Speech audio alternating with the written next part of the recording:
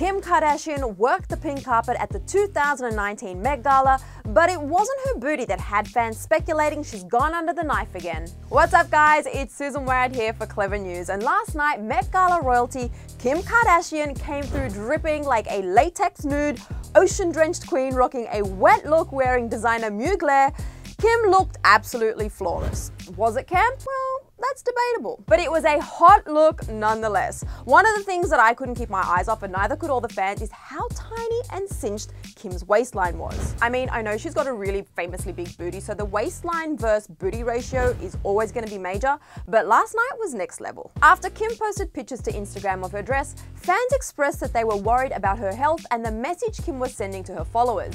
The comments were flooding in as to how tiny her waist was, with comments like waist goals and Kim literally left her waist at home. So it wasn't long before people started speculating that Kim has actually removed some rib bones to make her waist look that small. One person wrote, I cannot ever imagine removing my ribs to make my waistline ridiculously small. It's very disturbing.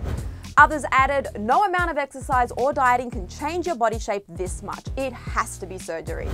I mean, it just didn't look real. Which, to be honest, not all her body parts are real, but I mean, taking out your ribs Damn girl, that is commitment. But in all fairness, while many are speculating that Kim may have had her ribs removed, it can also be the work of an extra tight corset or some extra padding around her trunk to exaggerate her shape. Kim's trainer Melissa Alcantara chimed in on the debate and came to Kim's defense on her Instagram stories, saying that the dress was corseted and that Kim is dedicated AF working out six times a week. She said in a now deleted story, I don't give a shit about your opinions on her body. I see her train and I see her sweat and I see all the work she does outside of the gym. According to E! News, Kim reposted the message on her own Instagram story, but it's now been deleted. So I guess that's it, right? What are your thoughts on all of this? Do you think Kim has actually had her ribs removed or do you think it's all about diet and exercise? Let us know your thoughts in the comment section below and you can find me on Instagram, Twitter and YouTube at Sussan underscore Mourad. Then when you're done, click right over here for another new video and don't forget to subscribe to our channels and click that bell so you never miss an update. Thanks for hanging with me. I'll catch you later. Bye.